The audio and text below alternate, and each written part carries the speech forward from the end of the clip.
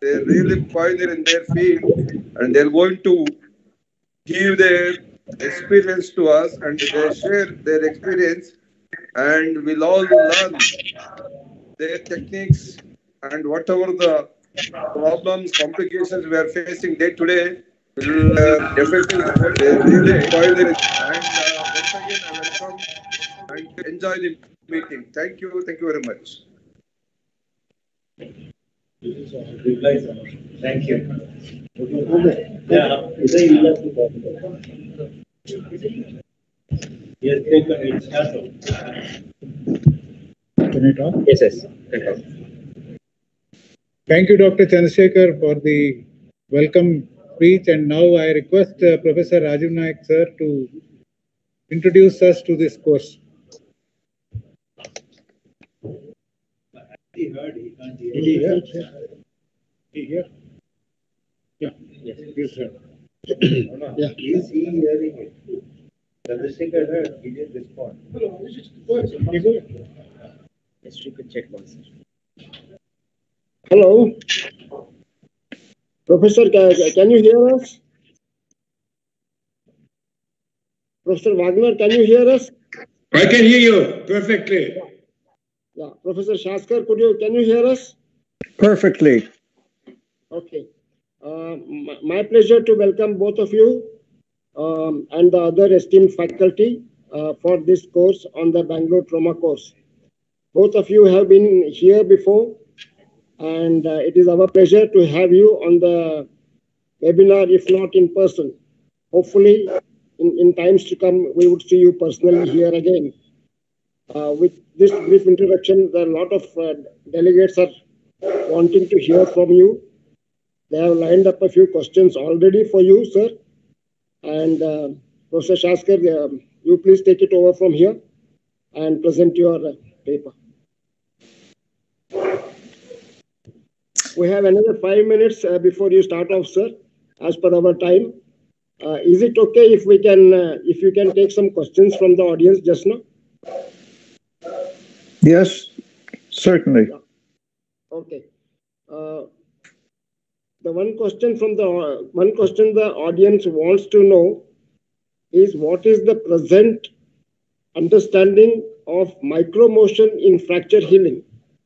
Is it micromotion that is necessary or is it compression that is necessary?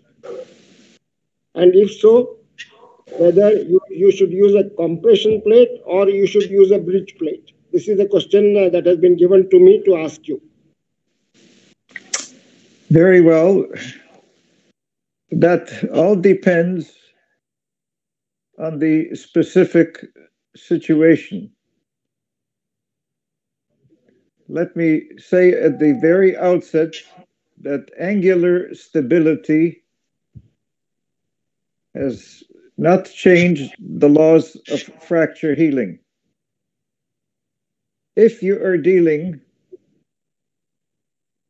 with a bone where you have done an open reduction, and in doing so, you have devitalized the bone ends, you require absolute stability to achieve union. That was the great advance of the AO in introducing compression, interfragmental compression. That is one situation. If you have done an indirect reduction, and if you have not invaded the fracture area, but have allowed it to be protected with its surrounding soft tissue and blood supply, then under those circumstances, you want to introduce motion in order to stimulate callus formation and union. So we have two completely distinct and separate situations. Uh, I hope I have answered the question. Yes. Yes, sir. uh, the, the delegate accepted what you are saying. Any? Second?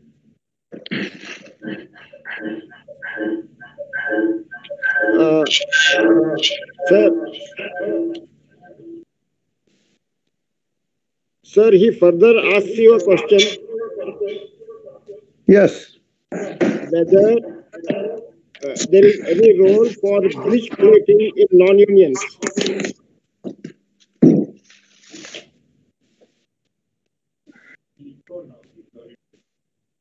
No. Simply, the answer is no. If you have a non-union, you have a very different situation from fracture healing.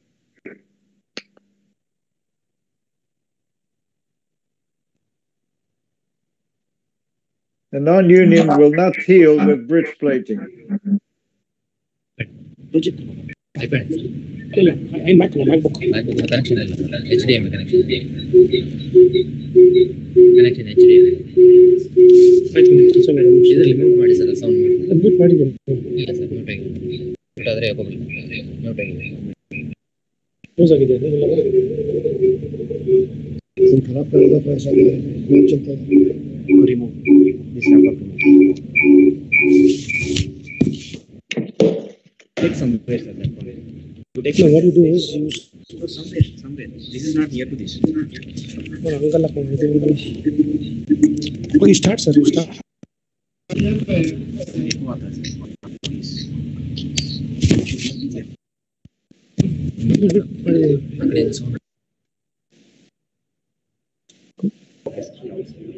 Would you let me know, please, when you would like me to start? Hi, uh, yes sir now now everything is settled uh, the delegate wants your reply as to whether there is any role for bridge plating in non-unions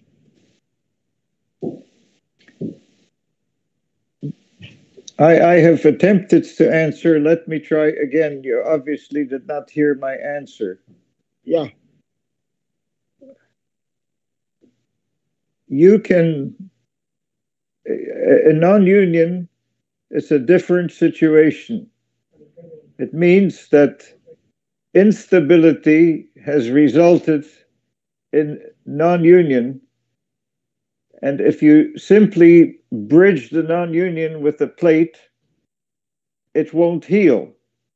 You have to do something to provide stability as well as a stimulus to union. So, in addition to bridging the non union with a plate, you have to add a bone graft in order to secure a bony bridge. Once the bony bridge heals, you then have a situation of absolute stability, and then the tissues will gradually remodel.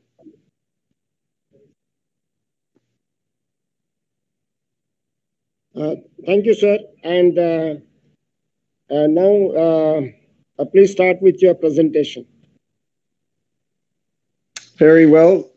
Well, let me say greetings to all of you in India and in Germany. Uh, it is a great pleasure to have the opportunity to speak and address you today. There are very few advantages to growing old. The one advantage is that uh, in growing old, I'm able to speak to you with personal experience when I speak about the reality of the 1970s and the progress we have made. Because I have participated with the progress in 1970s and therefore, what I will be speaking about is from personal experience. Thus, when I say that I must take you back to the days of smoke filled lecture theaters, I take you back to the reality when in a projector, the atmosphere is blue and haze with the smoke which used to fill the lecture theaters. That fortunately has disappeared. Those were the days when slides were very primitive.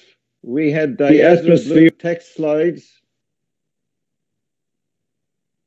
Those were the days of the early projectors, the early Kodak carousel projectors, and the open lights trays, which were available in Europe. And also the days of the two and a half inch glass slides, which were changed manually. Those were the days of conservative treatment and of its outcomes. And I'm demonstrating for you such a case of a tibial plateau fracture, which was treated conservatively in traction and has resulted in a non union with a terrible deformity.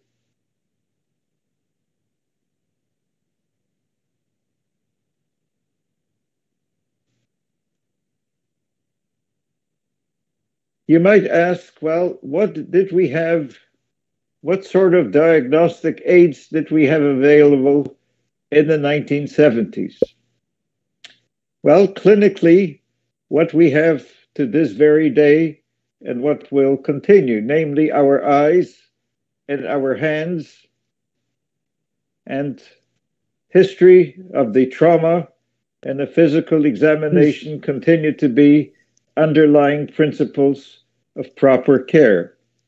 When it comes to imaging, all that we had available and were plain history of the trauma and the physical examination continue to be we could underlying principles. We had two plane tomography. We had stress examinations and we had arteriography. What was the available literature? Well, we had the famous Bibles, the Watson Jones textbooks. In the English speaking world, we had Böhler's books in German. In the 1950s, we had the famous Charnley book, The Closed Treatment of Common Fractures. We had Campbell's Operative Orthopedics, but in that text, published in 1963, there are only one and a half pages on the principles of internal fixation. It virtually still didn't exist. The AO had published the techniques of internal fixation in 1965 and then in 1970, the famous manual uh, of operative fracture care uh, appeared, first in German and the following year in English. The operating rooms were filled with a collection of implants, usually of screws and plates of different manufacturers different metals, and very few things actually fitted. In North America, we had only the beginner's set of the AO. We had not, nothing that you would call specialized tools. We had no bone substitutes. We didn't have any bone banks allografts were not in use. Fracture tables were mostly used to treat fractured hips. We didn't have any translucent tables. it was a very, very primitive environment. I'm sure you will agree. The imaging which was available, as I have already said, were plain x rays and the tomography. We didn't have any ultrasound. We didn't have any CT. We didn't have any CT and angiography, venography. We didn't have anything that was in three dimension. There was no intraoperative fluoroscopy. C arms didn't exist. We didn't have any intraoperative image guidance other than two plain x rays. Surgical education was still in its primitive stages. In North America, it was university based, but there wasn't such a thing as a curriculum. Few centers had courses in surgery, but none in orthopedics. In Europe, in the early 1970s, there was no organized education. It was all based on institutions. And for your education, you chose an institution. And surgical education was based on the mentor principle, namely, my way of doing things there were no underlying principles. You did what your mentor taught you to do. That's how I treat this. That's how I treat that. There was no standardized body of knowledge or an agreed curriculum. And clearly, under such circumstances, qualifications varied widely. Imagine a world without computers, a world without databases, a world without internet, a world without fax, and no iPhone, and no iPad, and no Professor Google. If we wanted to make a slide, we first had to photograph the object. It had to be typed. It had to go to a photographer. It took days, sometimes weeks, to get anything back. And transfer of images from one university or from one hospital to another, it didn't exist. Those were, that was the world in which I practiced at my beginning. When it came to research, we had primitive attempts at databases. What did it consist of? It consisted of large glued sheets of paper, which we used to spread out on the floor of a room and covered it with columns we didn't have a database. We didn't have any agreed classification systems to make studies possible. Evidence based medicine had not been invented as yet. There was no such thing as prospective documentation. All studies were retrospective. And of course, there was a tremendous loss of cases and there were no collaborative studies. In 1974, I published my classification of tibial plateau fractures. It was based on a retrospective analysis of cases treated in Toronto over a period of four years.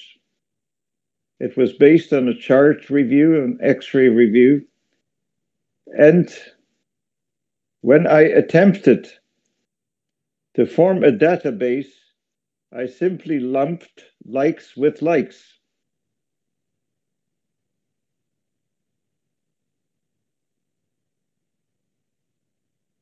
In order to reach some valid conclusions. There was no such thing as an interpersonal or intrapersonal agreement. There were no principles guiding any classification. Early systems simply represented the author's concepts. In my classification, I based it on age and organized the cases in an ascending order based on morphology from simple to complex. It was based on bone quality and on the amount of energy involved in producing the fracture. And I introduced the concept of instability. In those days, we did not look at stability and instability. That concept was not as yet in existence. So it was a pioneering step. I would like to remind you of the principles of fracture care of the 1960s to 1980s. We practiced immediate surgery, atraumatic anatomical reduction of the joint surface, and so on. What did we have for preoperative planning? It was based on imaging, but all we had were two plain x rays and tomography. So everything that we had existed in two dimensions. The patient was always positioned supine on the operating table. Intubation didn't exist, and thus a prone position of an anesthetized patient was impossible. And we didn't have anything that you would call a translucent table. The plain x rays clearly exist to this very days and have their use. We had stress examination under anesthesia, and these yield a tremendous amount of information and are useful to this very day. But the question came how to build a three dimensional image of the injury. And I would remind you of the dictum that an orthopedic surgeon had to have the ability to think in three dimensions. Because the only thing available to the surgeon were images in two dimensions, classifications in two dimensions, and so on. It was only at surgery, when the surgeon exposed the fracture, that he had an appreciation in three dimension of what he was dealing with. And unfortunately, at that point, it is often too late to correct the mistake of a wrong surgical approach. When it came to tibial plateau fractures, there was also a progression in thinking. What were the incisions that were common? Well, it was either the lazy S or the hockey stick or an approach popularized in the early days by the AO, the so called Mercedes Benz incision, which created three flaps, devitalized tissue, and was a disaster. There was progress, and with time, we progressed from curved incisions to a straight incision. And in complex fractures, approaches existed such as osteotomy of the tibial tubercle in order to turn up the extensor mechanism to gain a three dimensional view of the situation. What did the approaches have in common? Well, they were all from in front. There was no such thing as a posterior medial or a posterior lateral approach. And posterior, that was tiger country. We were taught to stay away from any such thing. Well, the question is now in the 1970s, how did we do? Well, this is the situation of a young Olympic skier who sustained a very difficult intra-articular fracture, a tibial plateau fracture. Approach from in front, in this case, with a incision of the infrapatellar tendon, holding the patella up. This is what you had to deal with. We learned to piece the pieces together. You see the intraoperative x ray with provisional fixation. You see the x ray at the end of the procedure. We also used something popularized actually in my city in Toronto continuous passive motion by Professor Salter.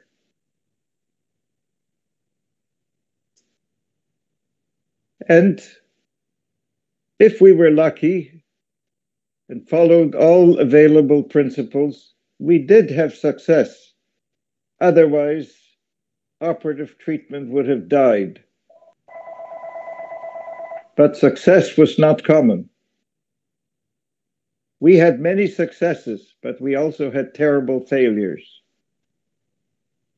And failures were usually breakdown of the incision and osteomyelitis, and often amputation. And this was the result of indiscriminate early surgery, which led to a high incidence of soft tissue complications. And the literature was full of such statements that it was the dead bone which was the cause of the breakdown and of the disaster. We were focused on bone. In the very early days, unfortunately, we faced, faced a failure to recognize that the soft tissue played a major role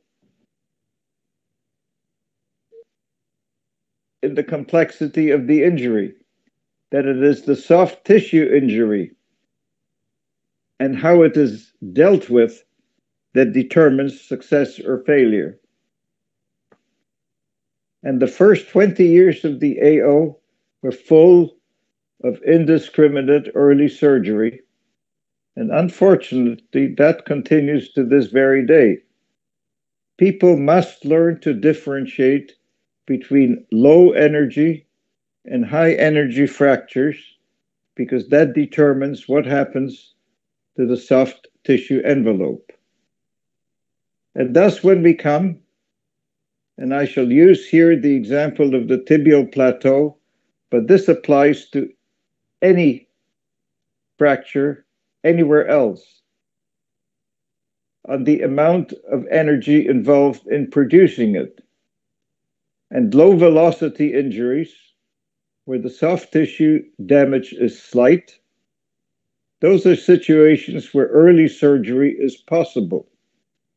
These are not the high velocity injuries, the fracture dislocations, the types 4, 5, and 6, where you're dealing with high energy, where the damage to the soft tissue is great, and where you must delay the definitive intervention. And the only emergencies in fracture surgery are open fractures, compartment syndromes, and where you have vascular or neurological complications. Those are the, really the only emergencies. Now we come to the progress in imaging. That began in the late 1970s, early 1980s,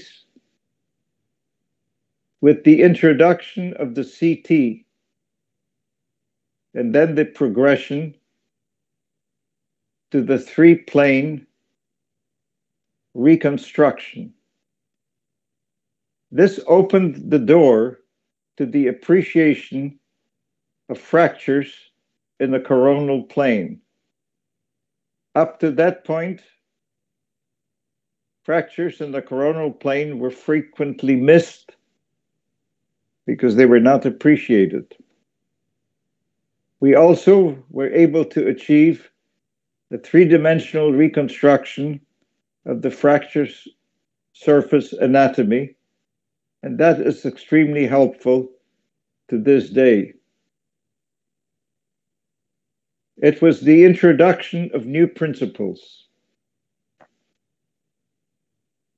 This was the introduction of the principal fracture plane, a concept which is essential when it comes to the management of fractures. It allowed us to decide with definitive accuracy where to position the buttress plate. It has to be positioned in the same plane as the principal fracture plane. That is the ideal position of a buttress plate. This concept was not possible till we began to have a three dimensional picture of the fracture. It also gave us the advantage of noting whether the fracture was anterior or posterior, terribly important in preoperative planning because it dictates the approach and the positioning of the patient. However, we didn't have any notation which allowed us to write down in a simple form the three dimensional concept of a fracture. Mauricio Kfuri, my colleague with whom I have collaborated for a number of years, asked me one day a very important question when we were discussing tibial plateau fractures, namely, Joe, how can we tell people exactly where the lesion is that has to be addressed in order to regain stability of the fracture? This rather simple question led to a major stimulus of CT studies first of over 100 fractures to validate the classification, but it led to new anatomical appreciations. And Mauricio Kfuri is the originator of the concept of the virtual equator and of the four quadrants, which define the limits of surgical exposure. What do I mean by this? The virtual equator is a concept. It is not an anatomical structure, but it relies on anatomical structures for its definition, namely the tubercle on the head of the proximal fibula, the insertion of the collateral ligament, and the posterior edge of the medial collateral ligament. These are points easily available on a, the axial cut of a CT or of an MRI. This defines the lateral collateral ligament and the medial collateral ligament. And it defines the four quadrants. If you divide the tibial plateau and the collateral ligaments define the limits of surgical exposure. And so we progress in concepts. We began to speak that outcome depends on stability, not just articular congruity, and we must achieve a straight leg. Let's analyze these. What defines stability? Well, clearly, deviation from the anatomical axis, the metaphyseal deformity, the axial malalignment defines instability in that situation. What defines stability in articular fractures? What? Well, when we come to soft tissues, clearly the ligamentous and capsular disruption. But those are terribly important soft tissue structures. But when we come to the bone itself, are all articular fractures the same?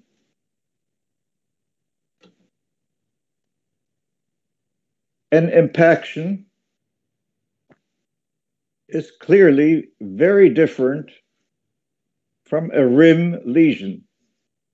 And this is the first that I have mentioned the concept of the rim of the joint as something which is terribly important because it is the rim lesion which determines joint instability. A simple impaction with the rim intact, unless it is a rare massive impaction, usually that lesion does not determine instability. But if you have a rim lesion, then with the disruption of the rim, you have a situation of instability. And I would like to introduce you to the concept of the wedge. The wedge is a three dimensional structure we do not have time to go into the mechanics of production of fractures, but articular fractures are the result of shear and impaction. And it is the shearing force which splits off a three dimensional wedge, and it is the displacement of the wedge, the loss of rim continuity that determines joint instability. Having said that, let me show you now how we have used the concept of joint stability in order to allow a way of defining in writing the anatomy of the fracture. Here we have a type 2 tibial plateau fracture. However, it is a type 2 with an anterior and a posterior split wedge. And both have to be addressed surgically when it comes to reconstructing rim continuity and restoring stability of the joint. So how do we define where the split wedge, the key to joint stability, occurs? We note where the rim has been split. And thus, as I have illustrated, in this a more complex in a type 5, well, we have a medial posterior split wedge. And on the lateral side, we have an anterior and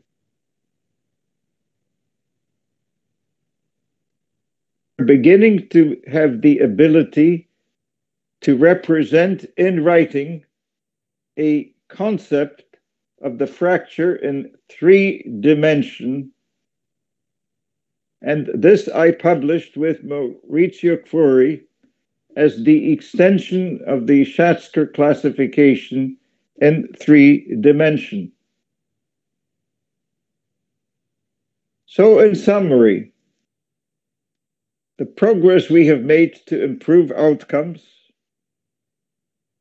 has been the notation of new anatomical landmarks, the concept of the virtual equator, and the concept of the four quadrants, which are defined by the collateral ligaments, which define the ease of surgical exposure and access to the fracture. And most of all, I would focus you on the importance of the loss of rim continuity when we come to speak of joint stability. The loss of rim continuity is the key. There are many fractures where the articular surface disruption may be beyond surgical reconstruction. But if we regain rim continuity, if we reduce anatomically the split wedge, we will succeed in restoring joint stability and a good outcome.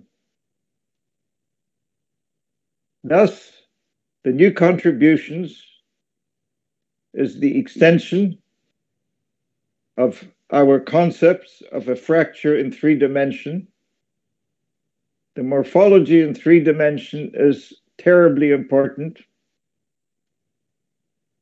We are now able to speak with one language in defining fractures that we are dealing with. And this three dimension allows multi-center study and research. This new information facilitates planning and execution of a stable joint, a congruous articular surface, and a straight limb, and will greatly facilitate the achievement of better outcomes. In conclusion, you had a glimpse of the dark ages of tibial plateau surgery and its struggles and really it defines the history of fracture treatment.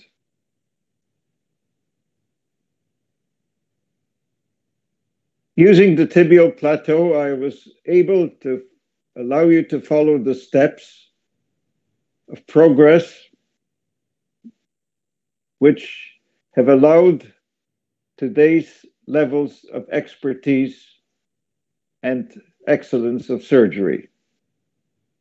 Thank you very much for the opportunity to speak to you about this subject, which is so very dear to me and my interests. I thank you for the opportunity to take your time to review this subject. And I wish to say goodbye to all the delegates and participants. Thank you.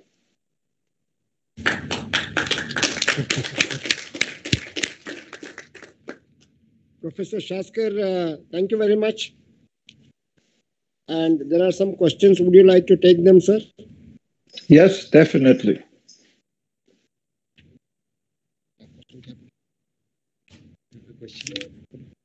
When, when will you, when will you one? There is a question from the audience. Uh, when would you consider bone grafting with the advent of locked plates?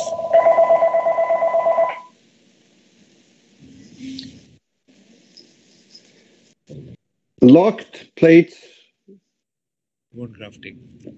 are a simply a way of achieving stability between the fragment and the plate. It doesn't change in any way the laws of fracture healing.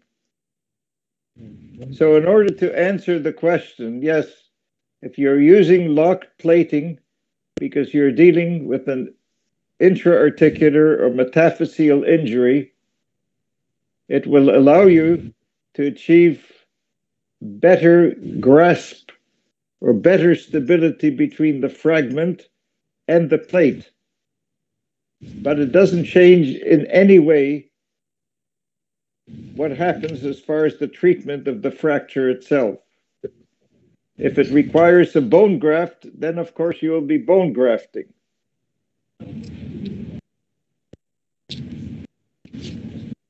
Um, so just to clarify that a little bit further, uh, whenever there is any bone void, irrespective of the plate that you use, you still need to fill the void.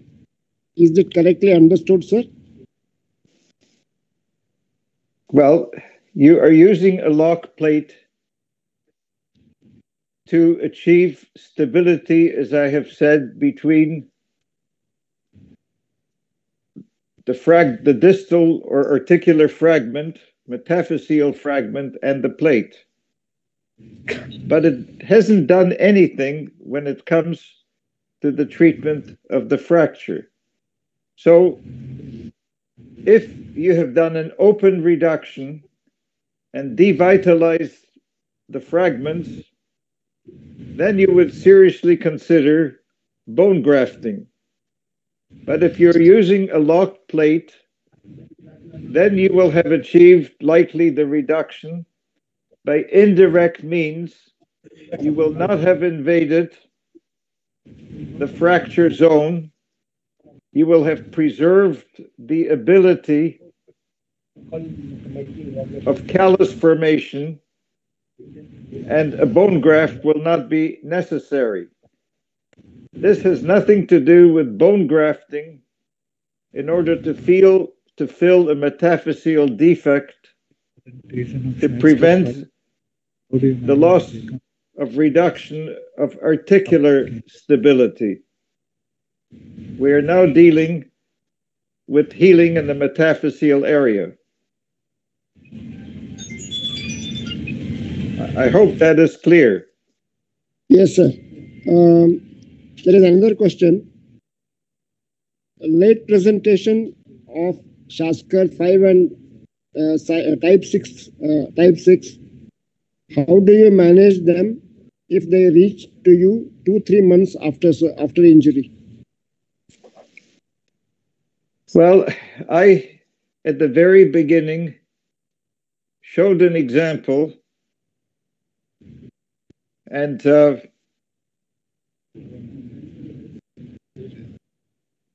exactly of a late presentation of a type 6 tibial plateau fracture, where the defor- deformity existed in two planes. We had a flexion deformity and a varus deformity. And in order to treat such a situation, you must carry out osteotomies in the principal plane, in the coronal plane, and in the sagittal plane in order to correct the deformity, which is in two separate planes. And once corrected, you, you correct the problem. I'm sorry, I don't have the opportunity to show you the details uh, of that first case that I used to illustrate the situation.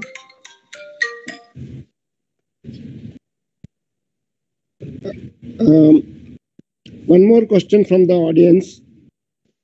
A bicondylar fracture is a single locked lateral plate enough to hold the medial condyle? That's a very important question. The answer is it depends on what is the lesion like medially. Whether there is cortical support or whether there is a void. If you're dealing with an open fracture and there has been loss of bone medially, under those situations, a lateral plate will not be enough. It all depends on the architecture of the medial cortex. Uh, a good medial condyle is a lateral plate enough. Well, if there is contact between the major fragments medially, once reduced, a lateral plate is enough, yes.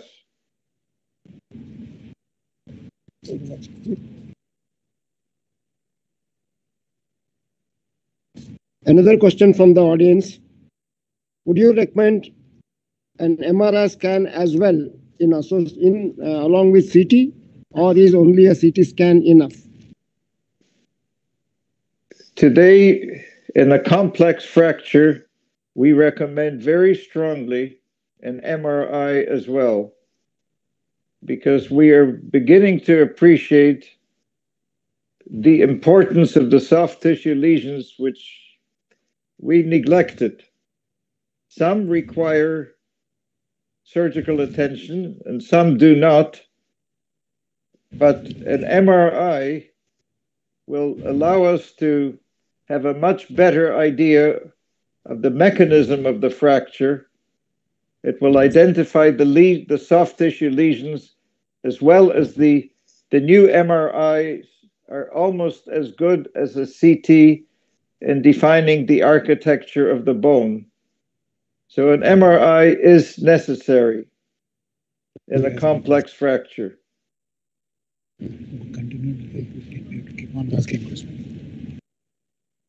Professor Wagner, do you want to ask any questions to Professor Schatzker? No, no, thank you. But it's also my experience over the last 30 years that we have underestimated the soft tissues for decades. Well, I'm happy to hear that we agree completely. Yes, of course.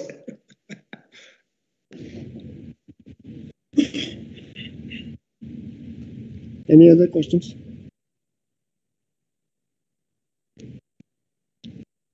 I would like to take this opportunity, if I may, to say a special hello to Professor Wagner. Also, hello to Canada and to uh, Joe Schatzker. It's always a great pleasure to be with you on the panel, and it's a great honor. Thank you.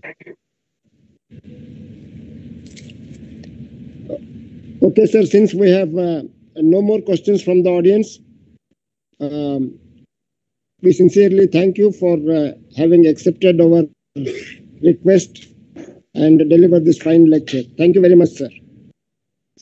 My pleasure. Thank you for the opportunity.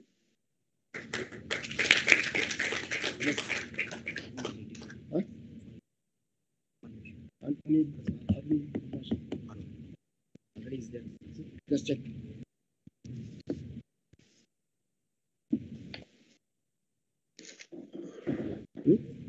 मैं अरुण बोलना चाहिए Arun Mullaji. He'll be joining two minutes. You want to go to, to Michael or? No, Arun Mullaji is the He'll be there in five minutes. Yeah. Uh, continue questions or you want to go to Michael? No, you said thank you, no? Any questions for that? Any questions?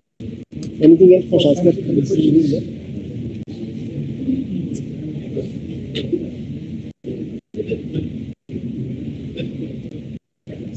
questions? Damage control? Damage control.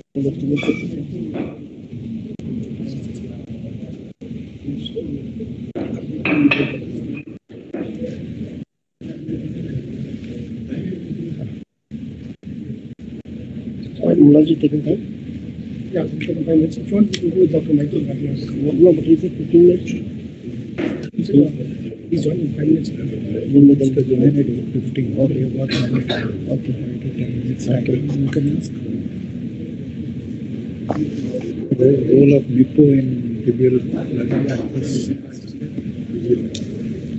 Uh, Some more questions, they want to go on asking questions. Professor Schatzker, one more question has come. Uh, Yes, MIPO in intra-articular fractures. Uh, your own textbook was not very fond of MIPO in intra-articular fractures. Do you still hold that view, sir?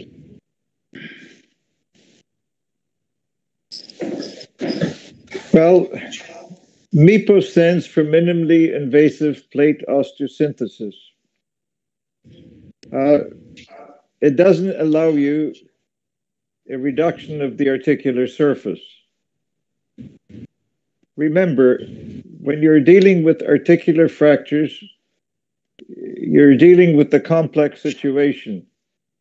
You're dealing not only with stability due to the splitting off of a split wedge fragment, creating discontinuity of the rim, but you're also dealing with articular surface.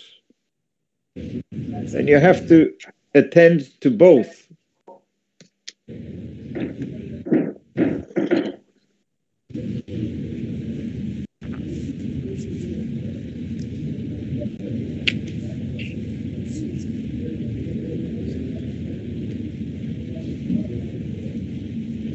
How often you you recommend a posterior plating for posterior fractures? Or can you approach uh, the fragment from anteriorly only? This is a very complex subject that, that you are addressing, namely the posterior tibial plateau fracture. Uh, the posterior medial approach is very simple. And when you're dealing with a type 5 or a type 6 tibial plateau fracture, almost always a posterior medial plate is used in order to secure stability of the medial split wedge. Laterally, the, the principles are the same, but the approach uh, is definitely more difficult.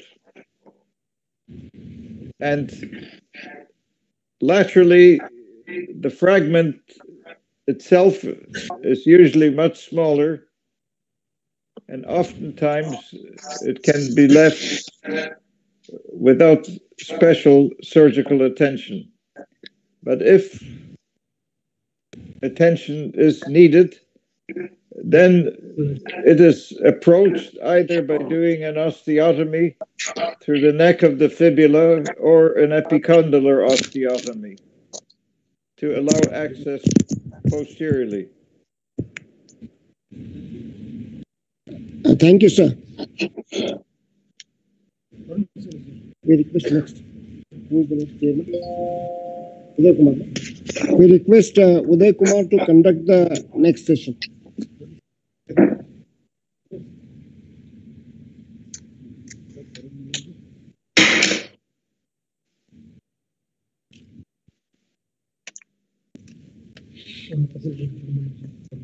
Thank you.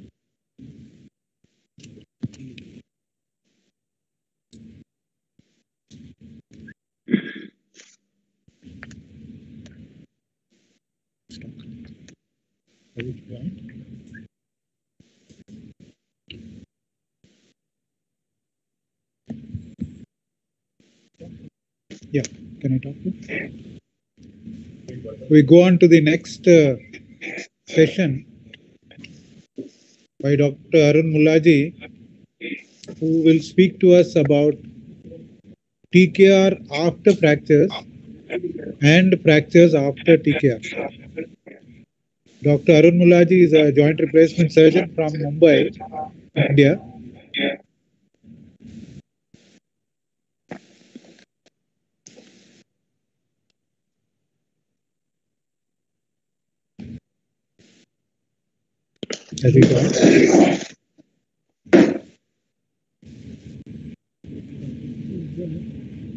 Him to unmute and speak. Uh, it's a long- Narendra. You want to tell anything?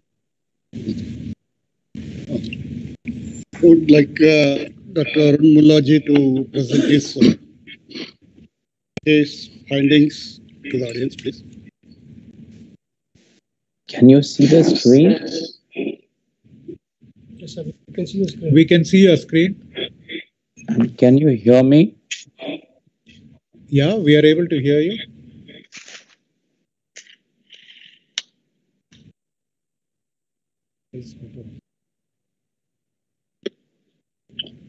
Voice of gender equality and not fracture fix.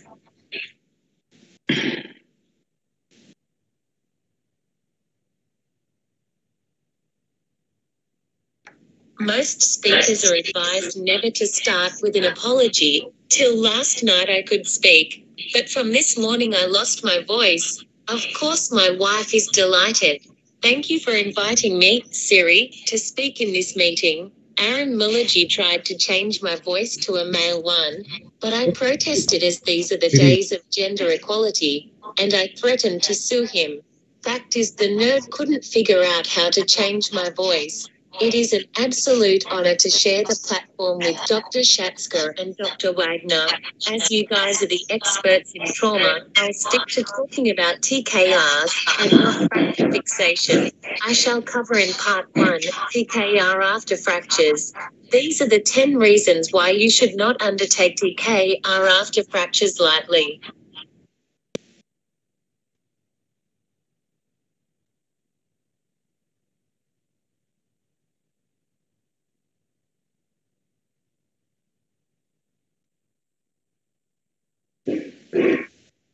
Although survival range and survivorship for these TKRs is almost the same or slightly lower, the complication rate is much higher, and these are some of the complications.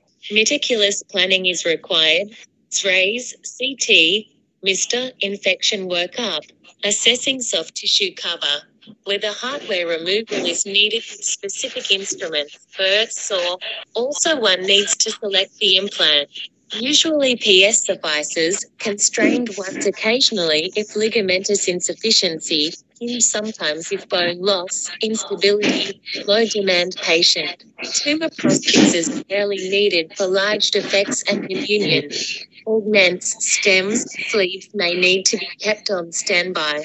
What about the timing of TKR? Should it be at same or enter stages? This depends on soft tissue condition, scars, whether extensive implants, and if there's concern regarding infection. If in doubt, perhaps it's safer to remove implants, send tissue fluid for culture, wait six, eight weeks before doing a TKR.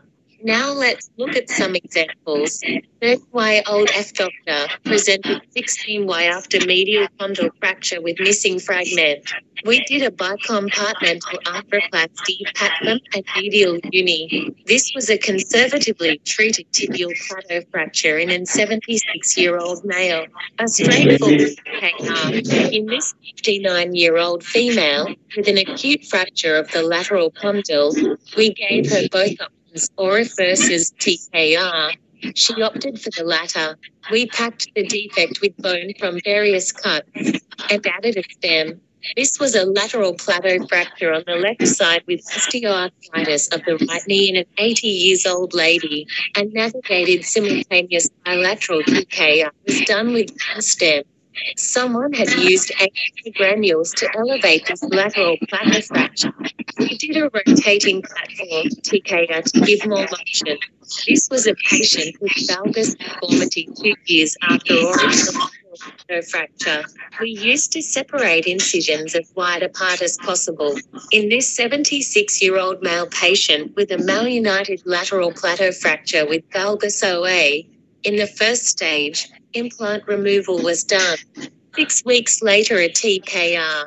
In this 53 years old male with a malunited proximal tibial fracture with pain from varus OA, we did a corrective closed wedge osteotomy and used a long stem tibial component. In this 70 year male with a malunited distal femoral fracture, we did a closed wedge osteotomy TKR. This was an union in a 74 year old female. Distal femoral replacement was done. In this 63 year old male, six months after ORIF became an infected non union, we put in a rod with antibiotic spacer and after sepsis was taken care of, a distal femoral replacement was done. In this 60 100 kilograms weight male, who had road traffic accident, A ORIF was done, and then a TKR elsewhere. Acute post-op infection occurred and the index surgeon inserted a spacer. We did second stage revision after waiting for one year and multiple negative cultures. Unfortunately, recurrent infection occurred after two years and a few was needed. To recap, now let's look at revision TKR after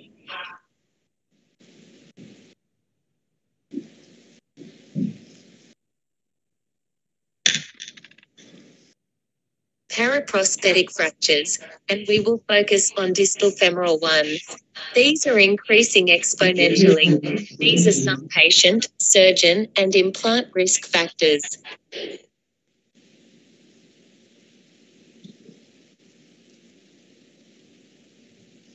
Specific risk factors for femoral fractures are notching, constrained implants, vigorous impaction, and stress risers, a careful assessment should be done by taking detailed history of the pre-fracture TKO performance, comparison with earlier sprays to rule out loosening and infection. Key factors to consider are listed here principally the patient, fracture, and plant characteristics.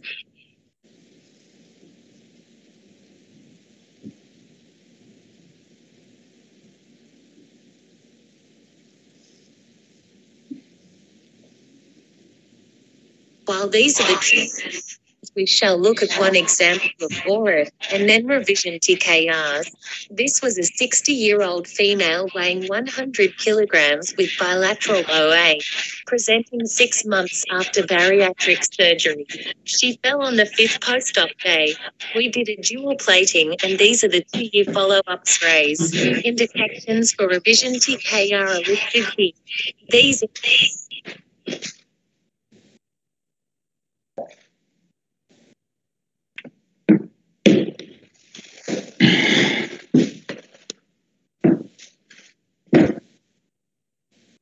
include very low distal femoral fractures where nail or plate fixation isn't realistic. There's poor bone stock and loosening, internal fixation contraindicated or likely to fail, or has been attempted and fails. Patient unable to bear partial weight, ligamentous instability, failed implants with loosening, malposition, where implant known to have limited lifespan has been recalled or is extinct, PJI, metastatic lesion.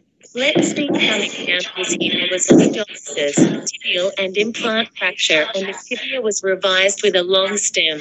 In this patient with a Felix type IV tibial tub avulsion, we used a rotating hinge, fixed the tuberosity, and reinforced the patella tendon with safety. This patient operated elsewhere presented three months post-op. We used an augment and stem. These are immediate post-op bilateral TKS rays. She stumbled post-operatively. We revised the femoral components with long stems. This was an elderly lady who fell three months post-op. After a failed attempt to fix the fractures, a distal femoral replacement was done. Similar story in this rheumatoid patient operated. This lady had an ORA for a periprosthetic fracture, both done elsewhere, and this is what we did. This is my 93 year old teacher, professor of gynecology, two years post op, TKA done by me. She fell, and that's what we did. That's a one year post op. Finally, this is an ununited infected fracture after a TKA elsewhere, and sent to us after hardware removal. We used a rod cement spacer, and then in the second stage revised her to a femoral replacement. In summary, revision TKR for periprosthetic fracture requires fixation if surgeon is experienced in trauma, has full array of implants, there's bone quality, and if patient is younger, tumor prosthesis may be the preferred option in elderly, low demand patients. But this has to be weighed against the costs, risk of infection, patella problems, rotational alignment, and leg length. I thank you for your attention.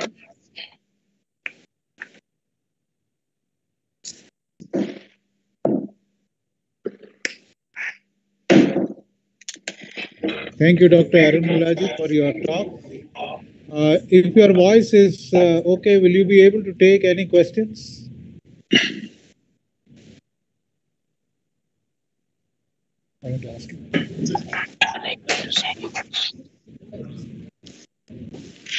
Or shall we proceed to the next speaker? Can we'll proceed? to- Thank you, Dr. Arun Mullaji, for your wonderful talk.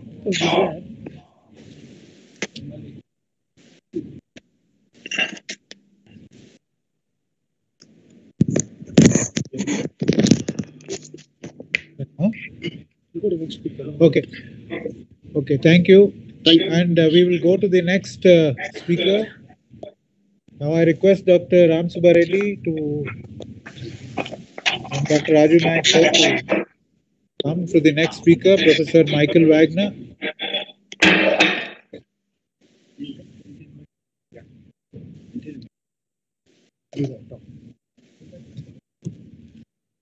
ಅದನ್ ಬಂದಿಲ್ವಾ sir continue ಮಾಡಿ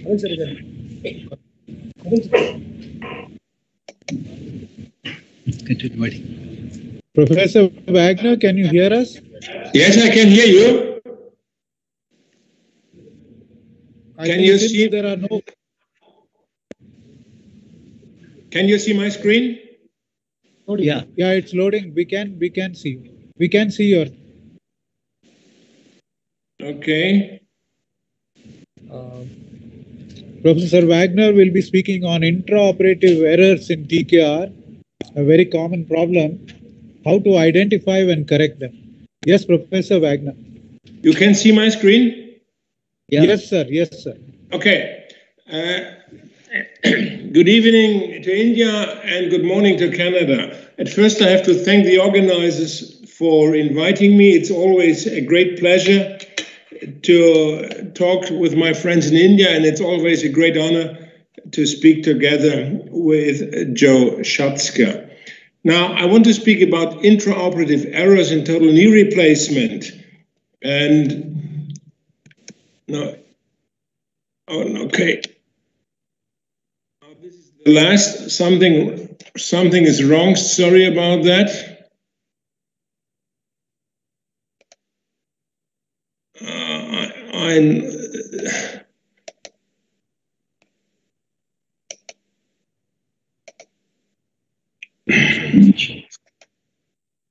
Could you reshare the screen, Professor? okay. Do you see my screen? Not yet. No. No? Okay, I don't know what has happened here. Sorry for the delay. Just try again, Professor. Click on the share share button and try again. Sorry for that.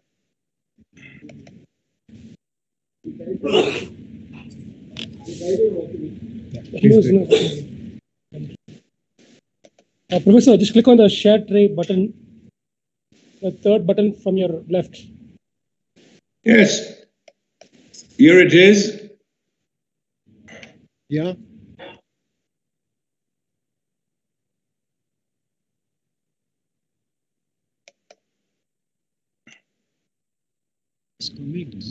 Does it work? It's loading. It's Yeah, loading, loading. It's loading now. It's loading.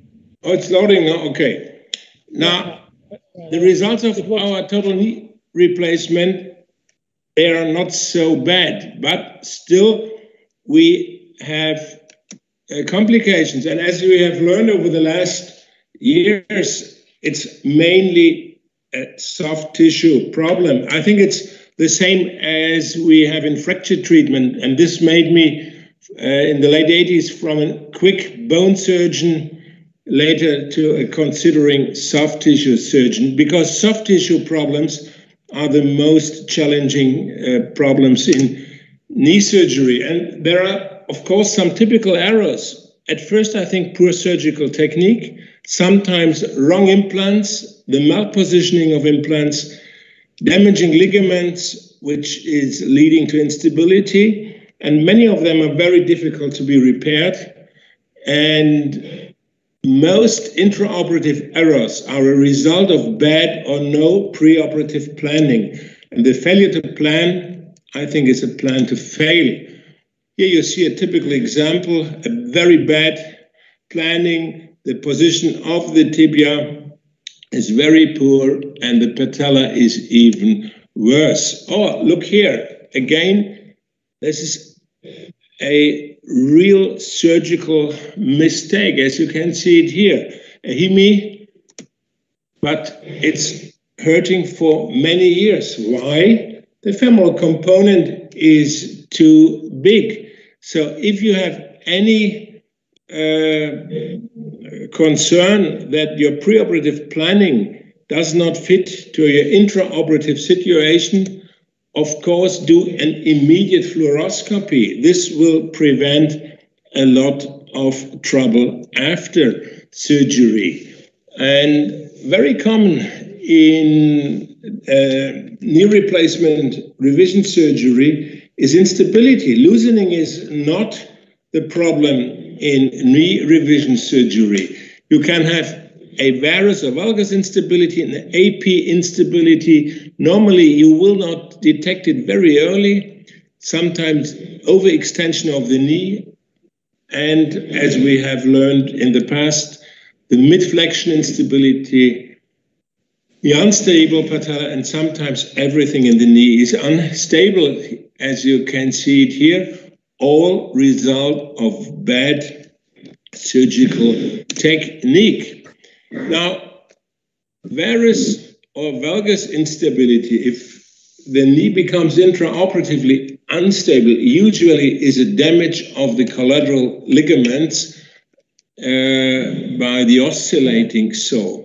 Now, what to treat there? There are some papers of a ligament repair. There is some literature from China, or what we prefer if such a rare situation is occurring, we are going for a semi-constrained or even a rotational hinge implant. But in our service, this is a very rare uh, situation. Here you see this from a paper from China, how they uh, fix this problem when they have cut intraoperatively the medial collateral. And I'm always wondering why they can't publish major series. Now, the more common intraoperative instability is the patella, and you can have different problems. If you have a very stiff knee, it can happen that you have a banana peel effect at the at the ligament, and the ligament is disappearing from the tibial tubercle. So if you have this banana peel effect, stop soft tissue release immediately. Think about a rectus snip or an osteotomy of the tibia tubercle. And if you have to repair the patellar tendon, always use a McLaughlin cerclage, otherwise you will fail. And if you only have weakened the insertion of the patella, insert uh, two corkscrews anchors for reinforcement of your ligament and be a little bit reluctant with the physiotherapy. And if you see such a situation intraoperatively, then it's always a disaster. And you do not have to believe in miracle. Such a subluxation of the patella cannot be treated by a soft tissue procedure. It is in almost all cases an internal malrotation of the femoral component. So you have to correct the position of the femoral component, check the patella stability always before the insertion of the definite components. And um, if patella is not uh, functioning well intraoperatively, it will never function. And never accept surgical errors at the end of the operation. This is a typical case. Here you see there is a slight instability, obviously, and there is a negative slope. And if you leave this, you see the knee becomes more and more unstable, and then you end up with a nasty fracture. So never accept uh, bad positions intraoperatively. Check it as precise as possible. Sometimes we are facing the mid flexion instability. The knee is stable in extension and in 90 degrees of flexion, but unstable in mid flexion. Very often the joint line is too high, uh, the femoral component too much ventral, and the MCL is insufficient. So uh, many of these knees have very high poly liners. And if you have an unconstrained prosthesis and you have a poly 15 millimeters or even more, think about mid flexion instability. It is very common. And in many standard examinations, you will not detect this. And you have to think a little bit about your joint line. There are many methods how you can uh, calculate your joint line. And oh, oh, sorry, I pushed the wrong button. It's my fault. Sorry about that. Uh, it's this ugly computer at home. Sorry for this inconvenience.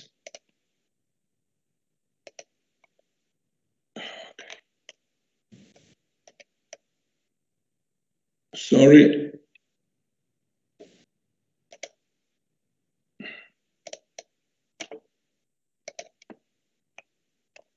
Now we are back at the joint line. Now, can you see the screen? And here you see a typical example of a bad joint line. Look where the tip of the fibula is. And here you see it is much too high. And this is even a danger for a constrained knee, as you can see it here in mid flexion, it will dislocate.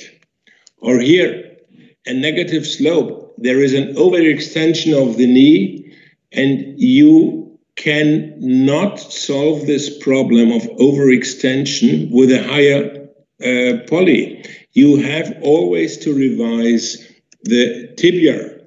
And again, some more examples of poor surgery.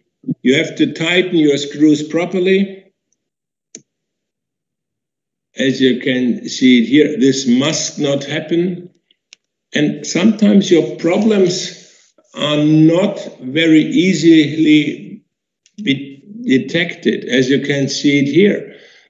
This is a semi-constrained knee, and the patient has a lot of pain, and nobody detects it. What is the problem? The poly popped out of the tibia component, but of course, it is not easy uh, easily to be seen here, and you cannot correct instability with posterior stabilized component, as you can see in this uh, example. An 80 year old lady, she got a surface replacement of the knee and it was unstable. And then they converted it to a posterior stabilized knee. Again, it's only stress for the extensor mechanism.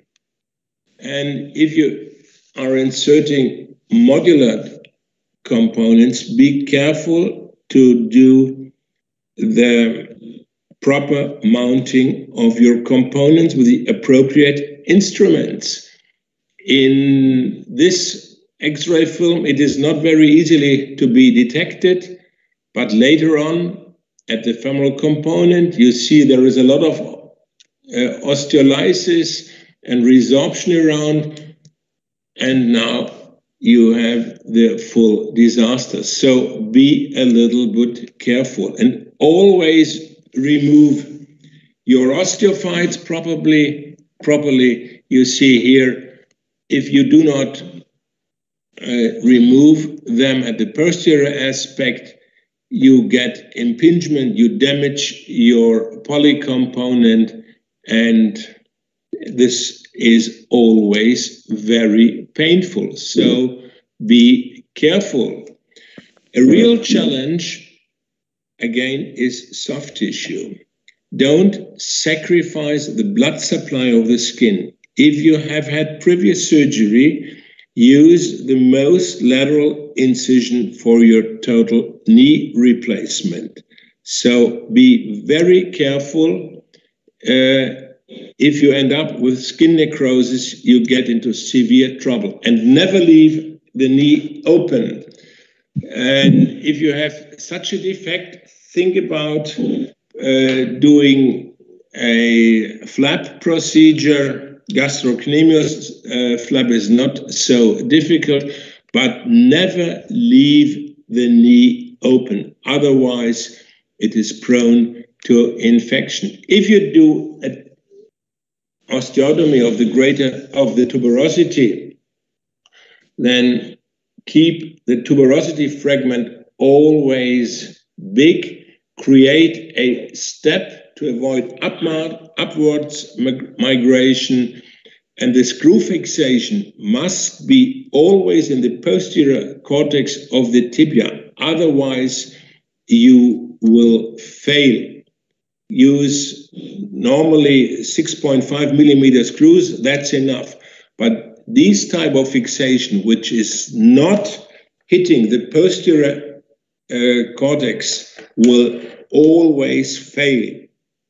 100% you can be very assured. So you have to avoid problems, not to detect the problems intraoperatively.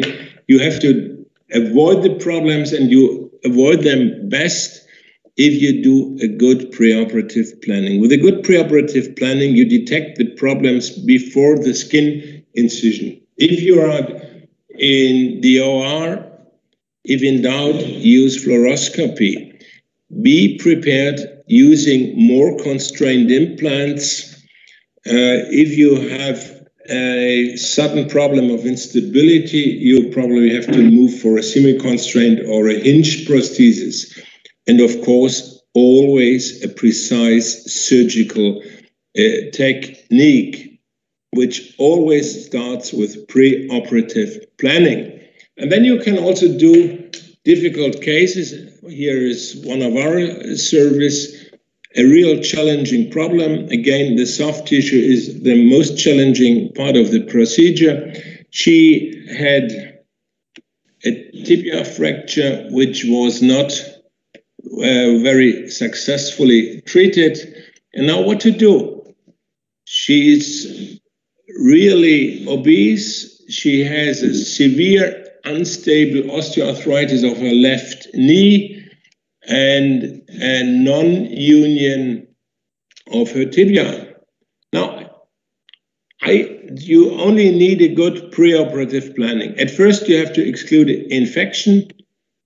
You see in the CAT scan that there is definitely a non union, and then you have to do surgery respecting biology and the soft tissue. And you see here quite simple operation, just lining up the tibia on the long stem. And you have to believe in biology. Because when you have stability, the non union heals. And then you can think about knee surgery on the right side. So keep in mind, good results come from good experience, but good experience comes from bad results. So I thank you for your attention.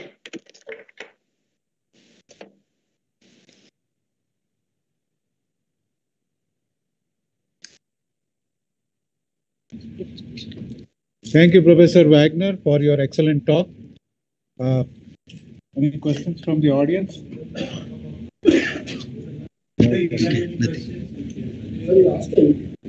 Yes, sir. You can come.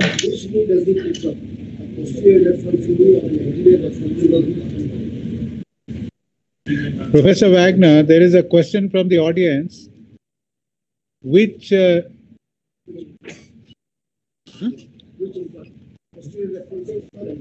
which uh, implants do you prefer? A posterior reference reference implant or an anterior reference implant? Posterior referenced implant, but you have to be very uh, careful uh, if you have uh, major deformities. But still, we are we are using no roboter, and at the moment also we do not use navigation anymore. Uh, maybe this will change in the next years. I'm not sure. Okay, thank you. Thank you. The question is why why do you prefer the posterior referencing? The audience would like to know. Because I learned it long ago. Again, it's eminence based. Okay. Okay. Okay. Fine. If no questions. If there are any more questions, please. Okay. If there are no more questions, uh, thank you very much, Professor Wagner. Thank you. For your excellent talk and uh, And thanks for uh, we'll keep it open. with you. We'll keep it open. If there are any more questions, we would like to, Yes. if you are going to. We'll keep it open. If there are any more questions, we would like to ask you. Later. Yeah, of Later. course. Yeah, later. Yeah. There is one more question, uh, Professor Wagner.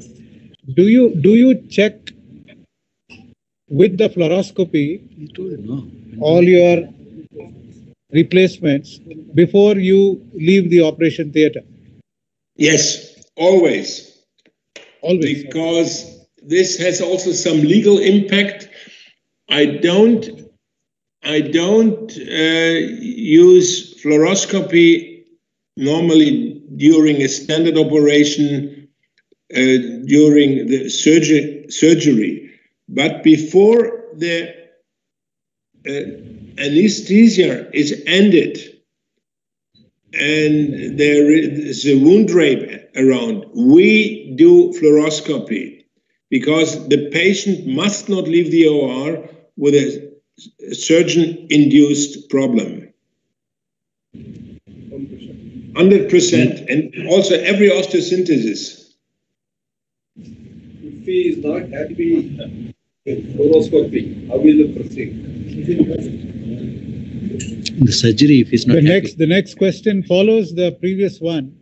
If you are not happy with the fluoroscopic view, would you revise the surgery? It's depending how terrible the image is. If there is a major problem, for instance, a very rare intraoperative fracture, of course, I would revise it immediately. And uh, also, if maybe there is some bone cement uh, intraarticular, I would also revise it uh, immediately.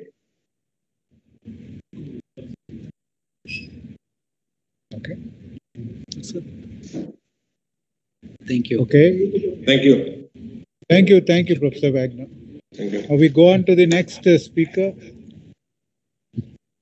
Professor Thomas Randau. Chandrashekar and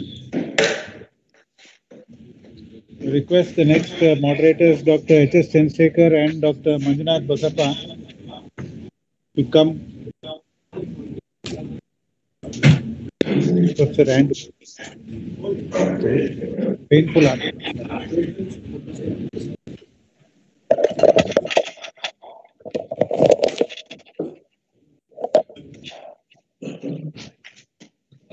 Yeah,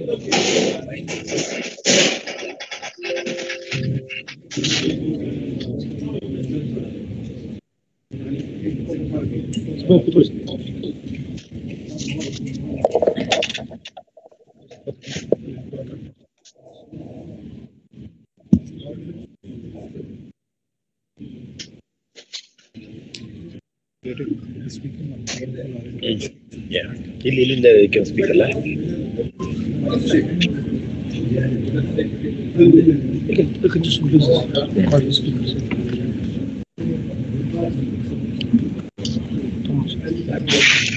Uh, Good evening, Professor Thomas Randau. I would invite you to speak on the most interesting topic, that is uh, the painful arthroplasty. Yes, all of us understand that uh, not all our uh, results are very, very comfortable to the patients. And uh, around the world, we expect around 10 to 12 percent of patients very unhappy. It is a great pleasure to invite your speakers in your, with your experience, why the people are unhappy with arthroplasty. Thank you very much, Mr. Randau. Uh, Thank you for the kind introduction and thank you for the organizers for inviting me. I hope I can be understood and heard. And I will try to share my screen. You can see my screen? Yes, sir, we can see your screen, sir. Please go ahead, sir. Excellent, perfect. Thank you very much. So um, the painful arthroplasty of the knee, it's a, it's a topic you can talk about for, for hours and hours. And so um, I decided to, to focus a little bit on the, the diagnostic part of this because uh, eventually we want to find out um, what the patient is suffering from. So these are my disclosures. Uh, so, uh, well, Germany is much more, much smaller than India, and uh, so the numbers are much lower. Um, but from the percentage, you can see we do have quite a few revisions. We have 150 total knee arthroplasties per year in Germany and around 20,000 revisions. And uh, we have around 600 certified arthroplasty centers. And if you look in the registry data and in the analysis, you see about 10 to 20% of the patients are not quite happy with the result of the total knee arthroplasty. And so uh, chronic post-surgical knee is actually a, a common problem that we have. And there's uh, been a review, it's a few years old now, and uh, meta-analysis says that 10 to 34% of patients still suffer from pain after total knee arthroplasty. Uh, and so it's uh, actually uh, a problem we do have to, to look at and much more severe than in hip arthroplasty, where the patients are much more happy and the results are much more predictable. So the question is, what are the most common reasons for persisting knee pain and total knee arthroplasty? If you think of your own practice, can you pinpoint it to, to a certain problem? And actually, I wanted to include interactive session here, but it uh, didn't work out technically, so I'm sorry for that. I didn't, I can't include the the online answering system in the PowerPoint uh, via Teams meeting. So we will discuss this after the talk, and I'm really interested on your your ideas, what you can say. And uh, for my own practice, actually, I have to say there's quite a few patients where I have to select uh, the uh, option I'm unsure or I don't know really what the problem is. And uh, this is something I want to uh, do a workup with you now and see uh, if we can find a solution. So where's the pain in the knee actually originating from? And this is one of my favorite uh, studies, although it's very old, uh, from uh, Dye. Uh, he's an arthroscopic surgeon, and he did the study with his uh, father, actually. And so um, there was an arthroscopy of the knee performed on the researcher himself, and it was performed without uh, anesthesia, only a local anesthesia of the skin, and they inserted the arthroscope and so his dad was going around with a little probe and touching different areas of the knee. And so the, the researcher could tell if he would feel any pain and if he could localize the pain.